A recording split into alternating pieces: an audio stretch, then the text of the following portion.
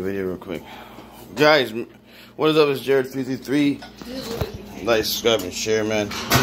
Make sure you watch the live. We're going live right now. I'm making this right here. Five pounds, 10 ounces.